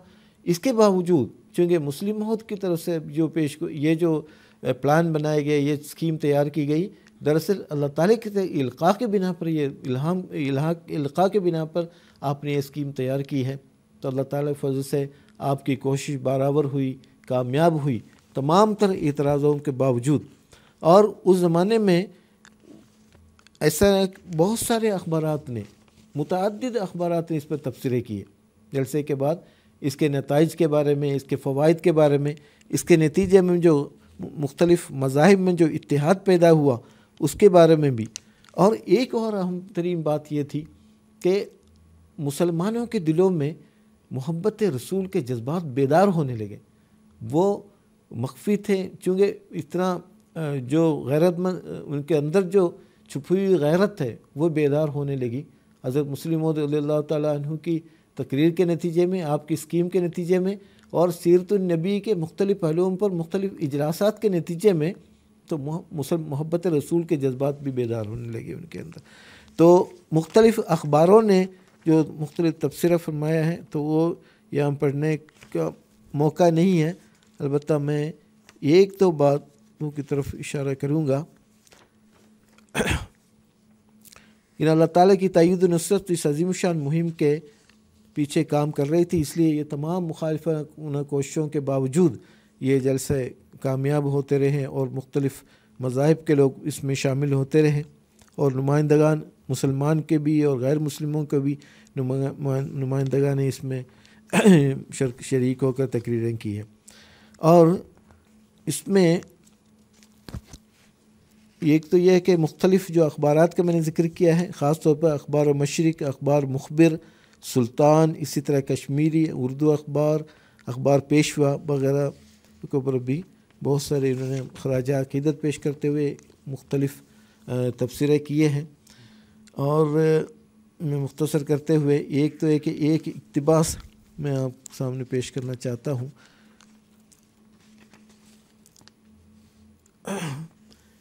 अलगर्ज ये जलसे बहुत कामयाब साबित अल्लाह ताला के फजल से जमात अहमदी आलमगीर। अब देखें, मुस्लिम ताला ने पहली बार ये एक स्टेज ऐसा तैयार किया जिसमें इख्तलाफ मज़ाहब को बालाता रखते हुए एक ही स्टेज पर हजूर सल्ला वसम की सीरत मुकदस पर तकरीर हो। आज हम देखते हैं, इतने साल से चल रहे हैं कि मुख्तलिफ़ जो मुस्लिम तंजीमें भी ऐसे इजलासात मनद कर रहे हैं जिसमें गैर मुस्लिम को भी मदू किया जाता है। ये दरअसल मुस्लिम के एहसानात में से हैं। और मैं एक इकतबास पेश करना चाहता हूँ, ये अखबार मशरक का ये हवाला है। बहुत सारे अखबार ने तबसरे शाये किए हैं। मत जनाब इमाम साहिब जमात अहमदिया के एहसानात तमाम मुसलमानों पर है। आप ही की तहरीक से वर्तमान पर गोया मुकदमा चला। आप ही की जमात ने रंगीला रसूल के मामले को आगे बढ़ाया। सरफरोशी की जेल खाने जाने से खौफ नहीं खाया। आप ही के पम्फलेट ने जनाब गवर्नर साहब बहादुर पंजाब को इंसाफ व अदल की तरफ़ माइल किया। आपका पम्फलेट जब्त कर लिया, मगर उसके असरात को ज़ायल नहीं होने दिया। इस वक्त हिंदुस्तान में जितने फ़िरके मुसलमानों में हैं, सब किसी न किसी वजह से अंग्रेज़ों या हिंदुओं या दूसरी कौमों से मरूब हो रहे हैं। सिर्फ़ एक अहमदी जमात है जो क़रून उला के मुसलमानों की तरह किसी फ़र्द या किसी जमात से, जमीयत से मरूब नहीं है और ख़ास इस्लामी काम अंजाम दे रही है। मशरक बाईस सितंबर उन्नीस सौ सतासी। अलगर्ज ये अजीमशान कामयाबी दरअसल सईदना हज़रत मुस्लिम तु का इश्क रसूल आप, आपकी जो दूरअंदेशी की अक्सी करता है, करती है। जी तला एक टेलीफोन कॉलर को इस वक्त हम अपने साथ प्रोग्राम में शामिल करेंगे और उनका सवाल सुनेंगे। पाकिस्तान से मुकरमा नादिया खालिक साहिबा हैं जो इस वक्त हमारे साथ टेलीफोन लाइन पर मौजूद हैं उनका सवाल सुनते हैं। अस्सलाम वालेकुम वरहमतुल्लाहि वरकatuh वालेकुम सलाम वरहमतुल्लाह। जी अपना सवाल पेश करें। मेरा सवाल ये है कि सूरत मुजम्मल की आयत नंबर 18 में अल्लाह ताला फरमाता है इन सफ़र तुम यौमन शीबा। बताओ तो अगर तुमने इस दिन का इनकार किया जो जवानों को बुढ़ा बना देता है। इस आयत की इजाज़त कर दी मेहरबानी जजाकमुल्ला शुक्रिया। मोहतरम मौलाना मोहम्मद हमीद कौसर साहब से दरख्वास्त है। बात यह है कि ये सूरह मुजम्मल सारी की सारी वो है जिसके अंदर आखरत के और आखिरी ज़माने की बहुत सी पेशगोइयाँ हैं इसके अंदर उन सबको छोड़ते हुए। ये जो सवाल कर रही हैं कि अजाब जिस वक्त आएगा उस वक्त ये नौजवानों को भी बूढ़ा बना देगा। बूढ़ा बूढ़ा जिस वक्त इंसान होता है, वो ये समझता है, मैं मौत के करीब हूँ और उसके अंदर एक घबराहट पैदा होती है। तो वो कैफियत है जो इस वक्त बयान की जा रही है, जो इस सूरत के अंदर बयान की जा रही है, आगे उसकी तफसील पूरी है। इस मजमून को समझने के लिए आज कल के हालात के ऊपर आप ज़रा गौर करें। वो चाइना में करोना वायरस वगैरह जो शुरू हुआ है, कुछ आदमी वहाँ मर गए, को कुछ हैं, बहरहाल जो भी सूरत है। सारी दुनिया में एक दहशत फैल गई। और यही है वो खौफ जिसका कि कुरान मजीद में मुतद जगह पे ज़िक्र आया है कि मामूली से झटका एक लगता है, तुमको तो तुम्हारे होश उड़ जाते हैं। तुमको पता भी नहीं होता कि तुम कर क्या रहे हो, क्या करने वाले हो।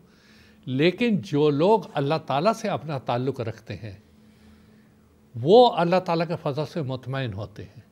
कि अल्लाह ताला जो करेगा, वो बेहतर करेगा। और वो दुआएँ करते हैं कि अल्लाह ताला उनको इन आफात से महफूज रखे।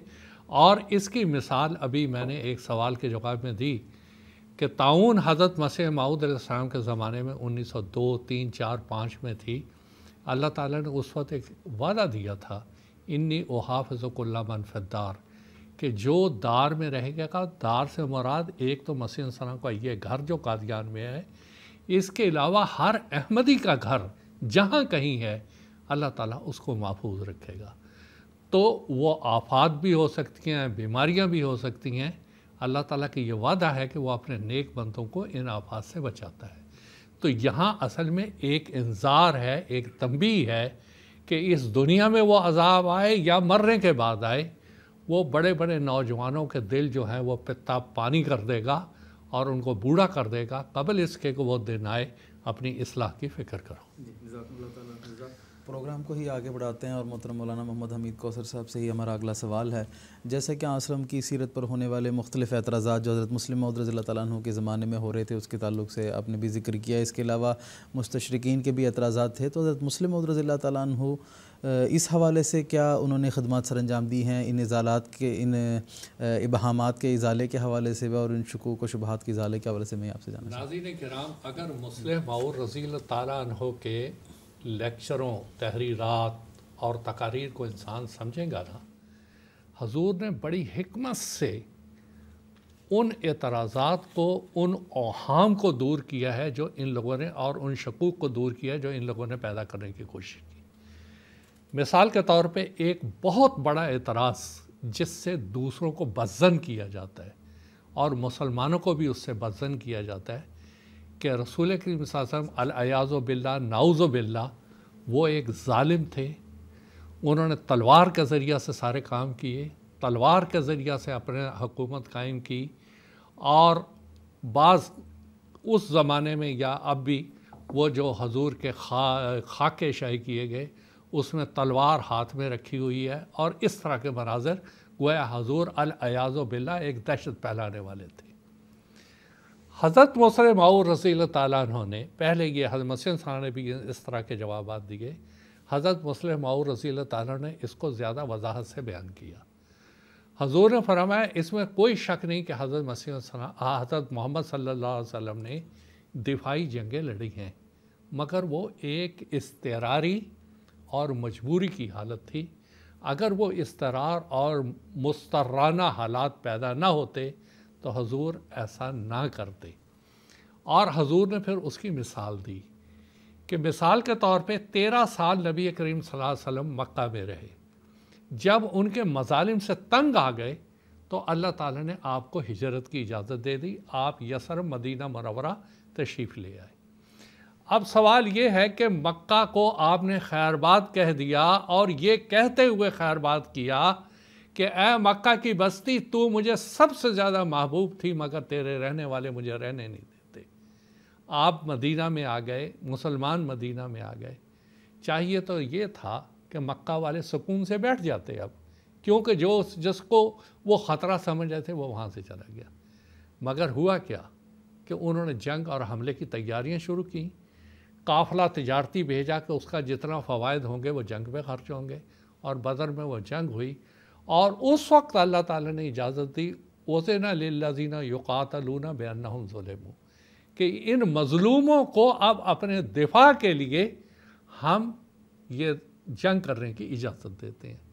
अब ये देखें कि कोई भी अक्लमंद होगा कि भाई, एक आदमी ने मुसलमानों ने अपना वतन छोड़ा, दूसरी जगह के आके रहे, फिर तुम्हें क्या तकलीफ़ है उनके ऊपर हमला करने की? क्यों तुम उनके ऊपर हमला करना चाह रहे हो? ऐसी हालत में अल्लाह ताला ने मजबूरन उनको इजाज़त दी कि अपना दिफा करें। इस हकीकत को हजूर ने बयान करने के बाद हजूर ने फिर कुछ मिसालें दी। हजूर ने फरमाया, देखें, हजूर सरसम का वजूद एक रहमत है और हजूर ने मिसाल दी एक डॉक्टर और तबीब की, एक जर्राह की कि एक डॉक्टर ऑपरेशन करता है एक मरीज़ का, उसका बाज़ दफ़ा उसे पाँव काटना पड़ता है या हाथ काटना पड़ता है या गुर्दे निकालने पड़ते हैं।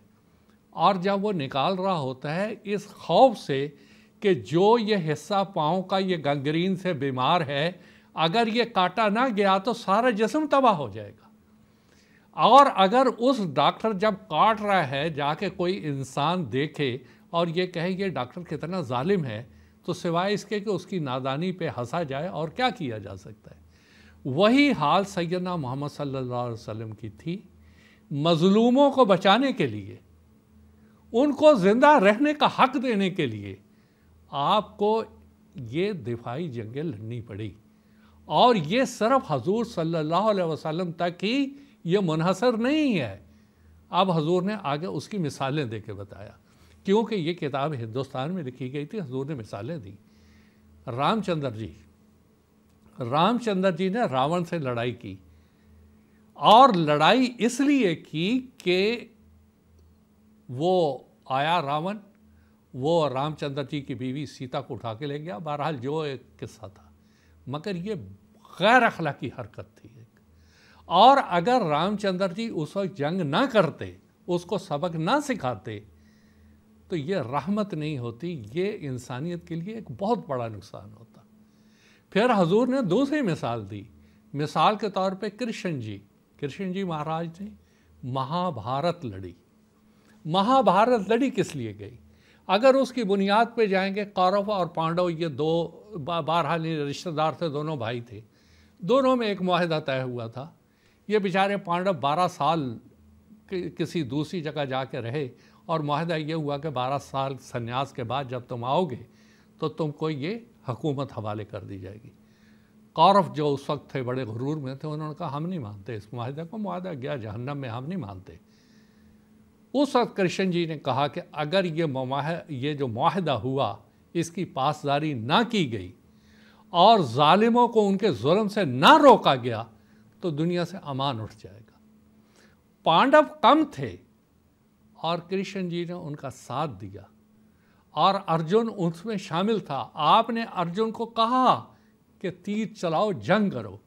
अर्जुन कह रहा था, मेरे सामने जो कौरव हैं उनमें द्रोणाचार्य बहुत से रिश्तेदार हैं, मैं कैसे चलाऊं?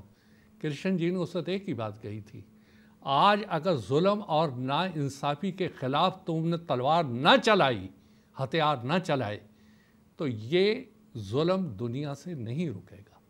और इतनी हौलनाक जंग हुई कि हज़ारों, बल्कि बाज़ तारीख में तो यह लिखा लाखों कत्ल हुए। अब ये सारी बातें ऐसी थी। अच्छा फिर मूसा सलाम के बारे में तौरात में आता है। यहाँ तक अहकाम आते, तू जंग कर। और जंग करके जब तेरे कब्ज़ा में कुछ आ जाए तो वहाँ पर तू सारे के ऊपर कब्ज़ा कर ले, औरतों, बच्चों वगैरह वलम्बी का। ईसाई दुनिया जो अपने आप को बहुत अमन पसंद कहती है। ईसा सलाम का कौल मौजूद है कि ये ना समझो कि मैं सुलह करवाने आया हूँ, बल्कि मैं तो तलवार चलवाने के लिए आया हूँ। यानी ज़रूरत पड़ेगी, मैं तलवार चलाऊँगा। ये अलग बात है कि उनको अपनी ज़िंदगी में इसका मौका नहीं मिला। अब ये सारी बातें उस तरह की हैं जैसे एक डॉक्टर एक बीमार का ऑपरेशन करता है। जो ये अम्बिया थे, अपने अपने ज़माने में इनके साथ यही हुआ कि इंसानियत और माशरा उस बीमार था। बाज़ हिस्से ऑपरेशन करके काटने की ज़रूरत थी। अगर ना काटते तो ये रहमत ना होती, बल्कि ये एक मुसीबत और जहमत होती। रसूल करीम सल्लल्लाहु अलैहि वसल्लम ने जो जंगें की या मुसलमानों ने की, वो इस वजह से की। एक दूसरी बात जो आम तौर पर उसके अंदर रंगीला रसूल वगैरह में जो मजून बयान हुआ। रसूल करीम सल्लल्लाहु अलैहि वसल्लम के बारे में ये कहा गया, आपने बहुत सी शादियाँ की। हजूर ने उसका जवाब दिया। हजूर ने फरमाया, देखो बात समझो।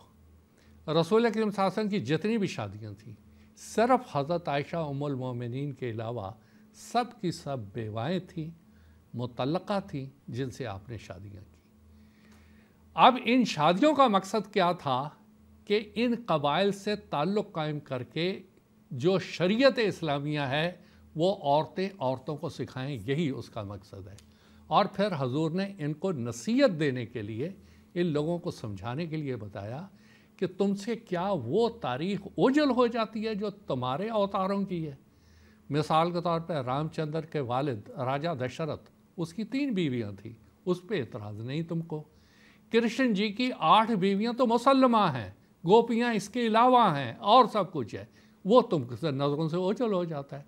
इसी तरह और बहुत से हैं हिंदू, जिनके ऋषि मुनि, उन्होंने एक से ज़्यादा शादियाँ की, और इसी तरह यहूद को या ईसाइयों को सलेमान सलाम है, दाऊद सलाम है तो हजूर ने फरमाया, इस किस्म के इतराज़ करते वक्त पहले अम्बिया की तारीख़ देख लो।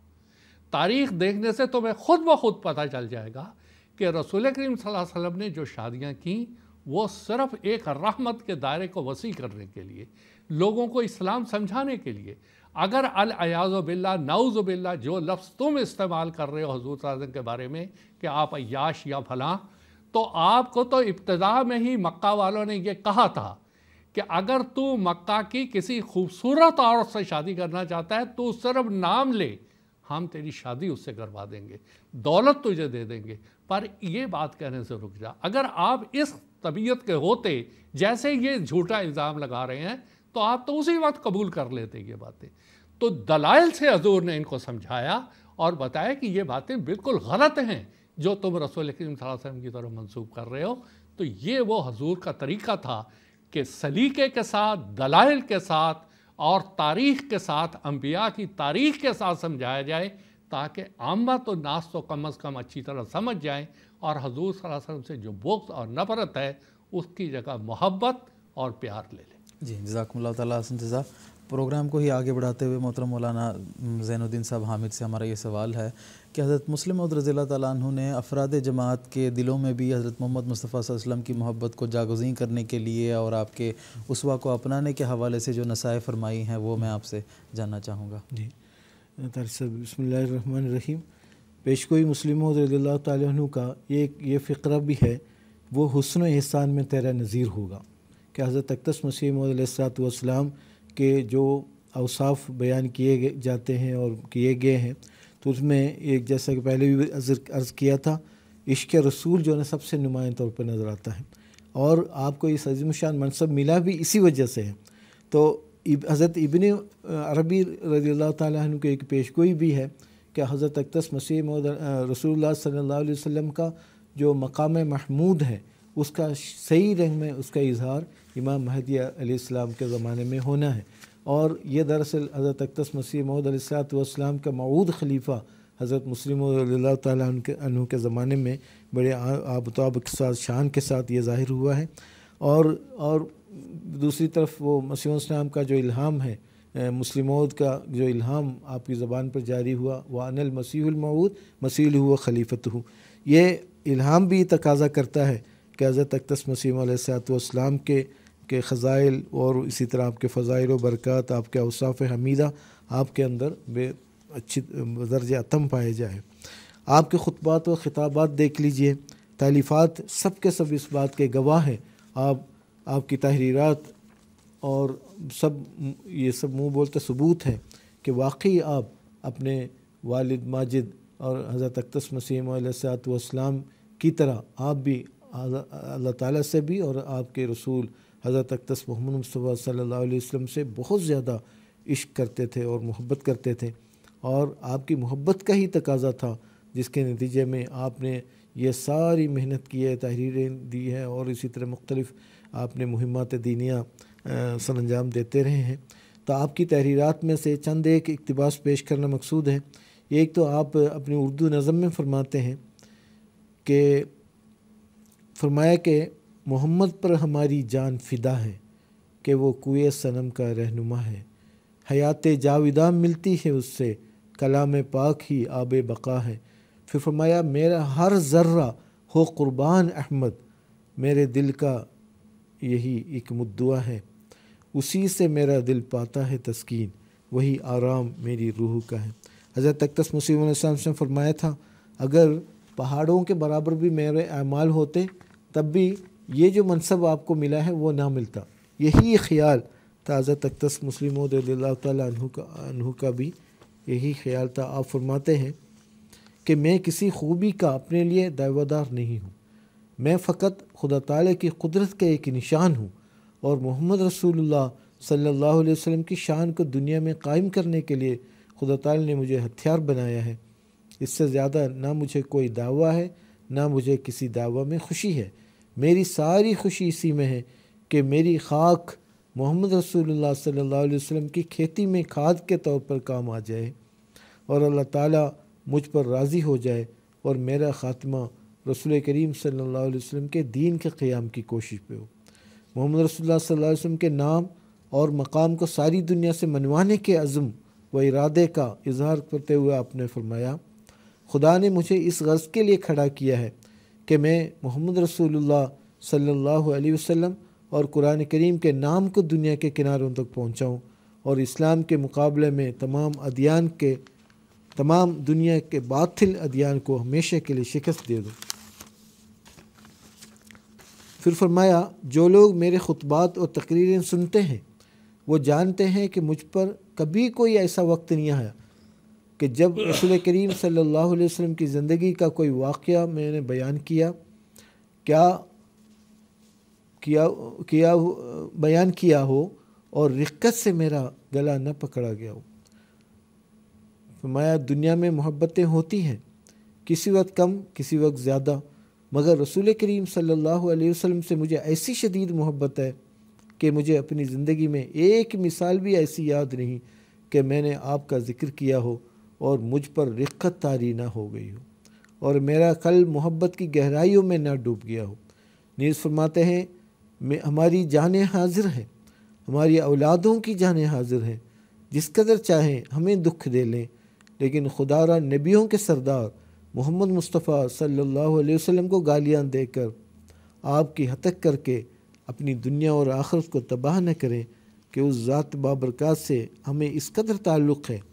और वाबस्तगी है कि इस, उस पर हमला करने वालों से हम कभी सुलह नहीं कर सकते। हमारी तरफ़ से बार बार कहा गया है, और मैं फिर दोबारा उन लोगों को याद दिलाना चाहता हूँ कि जंगल के दरिंदों और बन के सांपों से सुलह हो सकती है, लेकिन उन लोगों से हरगिज़ नहीं हो सकती जो रसूल करीम सल्लल्लाहु अलैहि वसल्लम को गालियाँ देते हैं। फिर अहबाब जमात को ताकीद करते हुए आपने नहायत मौसर पैराए में फरमाया बस अपने अखलाक में ऐसी तब्दीली पैदा करो कि दुनिया के महबूब बन जाओ। अपने आप अपने आप को इस तरह फना कर दो कि दुनिया तुम्हारे ज़रिए ज़िंदा हो जाए।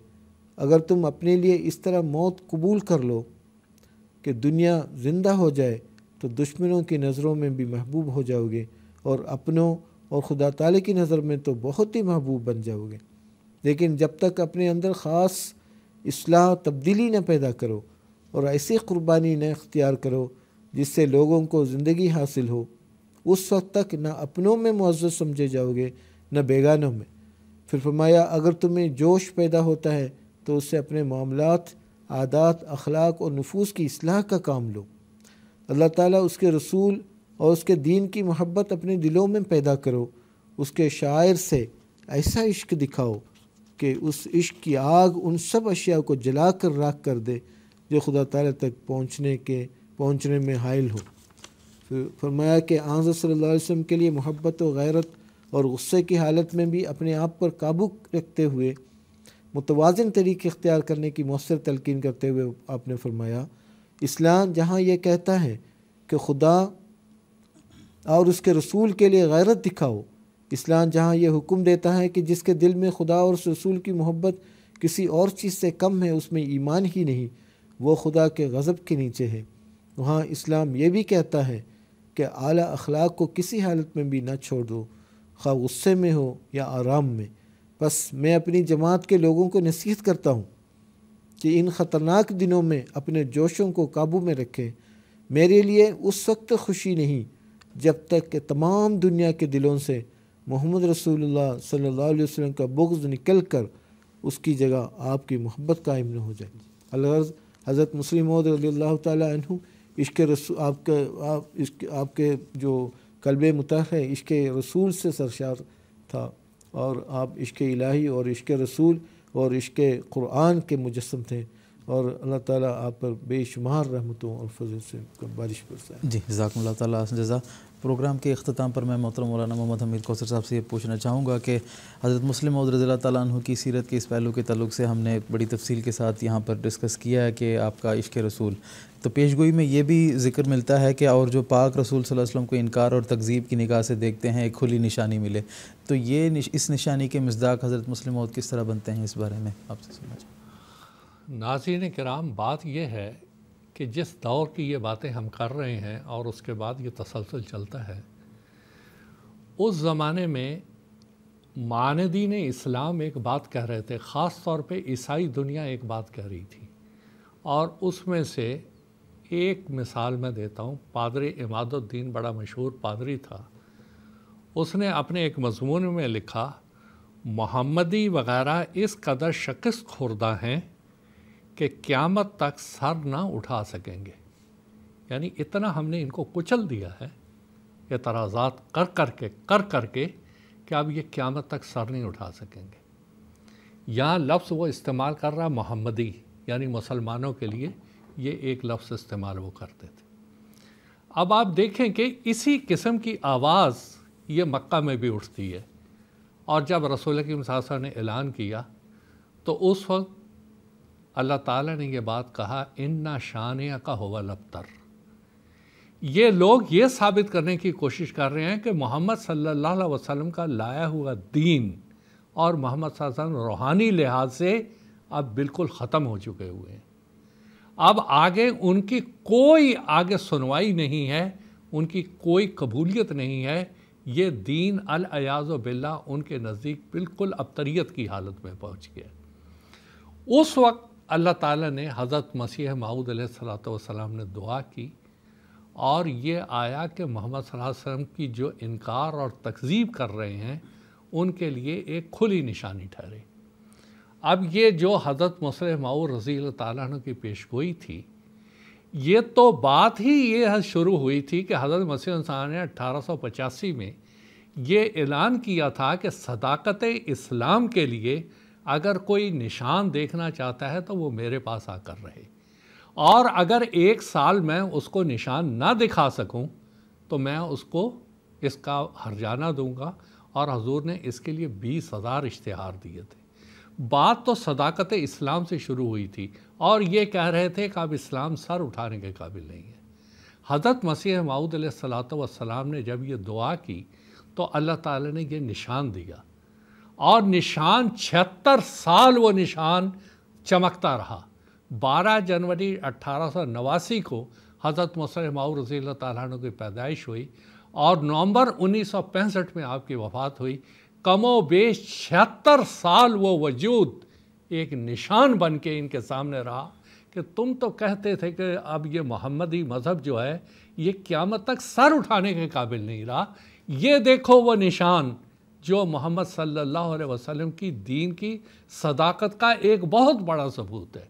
और ये निशान जब वो देखते रहे, शायद उनके सीनों पे सांप लौटते होंगे कि हज़रत मसीह माऊद वसलाम ने इस्लाम को दोबारा ज़िंदा किया।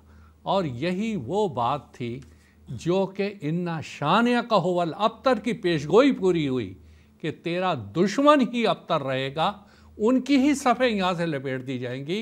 मोहम्मद सल्लल्लाहु अलैहि वसल्लम को कौसर अता होगा और अल्लाह ताला ने इस पेशगोई के ज़रिया हज़रत मसीह माऊद सलाम को कौसर दिया अलमुसलह माऊद दिया और इस्लाम का एहया की जो बुनियाद हज़रत मसीह माऊद सलाम ने शुरू की थी, मोहम्मद और रसूलुल्लाह सल्लल्लाहु अलैहि वसल्लम की तालीमात और रहमत की जो शुरुआत हज़रत मसीह माऊद ने जिसकी इब्तदा की थी हज़रत मुसलम माऊद ने उसको तकमील तक पहुँचाया, आगे लेके गए और ये वाकई उन लोगों के लिए जो ये ऐलान करते थे कि मोहम्मदियत ख़त्म हो गई है, उनके लिए एक ऐलान था इन शान का हवल अबतर हर ज़माने में तेरा दुश्मन अबतर रहेगा और तुझे हम कौसर देते चले जाएँगे। बस तू नमाज़ पढ़, कुर्बानी कर और ये इनामात तुझे मिलते चले जाएँगे। इस लिहाज से ये पेश गोई पूरी हो। जी जजाकम्ला तजा नाजरीन कराम इसके साथ आज का हमारा एपिसोड ख़त्म हुआ चाहता है। आखिर पर मैं बानी जमात अहमदी हज़रत अकदस मसीह महमूदलाम का एक इकतबास आपकी खिदमत में पेश करता हूँ, जिसमें हजूर फरमाते हैं, खुदा ने मुझे ख़बर दी है कि मैं तेरी जमात के लिए तेरी ही ज़रूरीत से एक शख्स को कायम करूँगा और उसको अपने कुर्ब और वही से मखसूस करूँगा और उसके ज़रिए से हक़ तरक्की करेगा और बहुत से लोग सच्चाई को कबूल करेंगे। सो उन दिनों के मुंतज़र रहो और तुम्हें याद रहे कि हर एक की शनाख्त उसके वक्त में होती है और कबल अज़ वक्त मुमकिन है कि वो मामूली इंसान दिखाई दे या बाज़ धोखे देने वाले ख़यालात की वजह से काबिल एतराज़ ठहरे, जैसा कि कबल अज़ वक्त एक कामिल इंसान बनने वाला भी पेट में सिर्फ़ एक नुतफ़ा या अलका होता है। तो नाजरीन कराम, पेश गोई मुस्लिम मऊद ने अपनी हम असर दुनिया में क्या असर किया और मुस्तबिल में क्या उसकी तसीरत हैं, इसके हवाले से हमारा तस्करा जारी रहेगा। हम अपने अगले एपिसोड में हज़रत मुस्लिम मऊद रज़ी तु खदमत इस्लाम के फरीज़े को जिस उमदगी और खुश उसलूबी के साथ अदा फरमाया है, उसके ताल्लुक से हम बात करेंगे। हमारा अगला एपिसोड मुरखा बाईस फरवरी 2020 हफ़्ते के दिन इंडियन टाइम के मुताबिक रात के साढ़े नौ बजे जीएमटी के मुताबिक शहर पैर कर चार बजे, कादियान दारुलमान से हम आपकी खिदमत में लाइव पेश करेंगे। तब तक के लिए इजाज़त दीजिएगा। असलकम वरहमल वबरक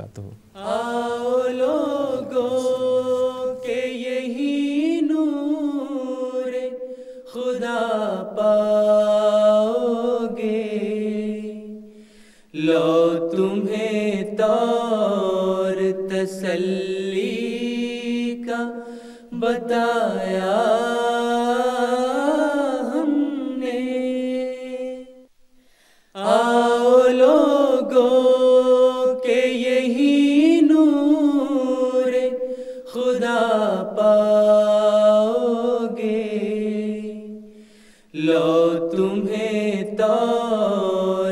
तसल्ली का बताया हमने। लो तुम्हें तौर तसल्ली का बताया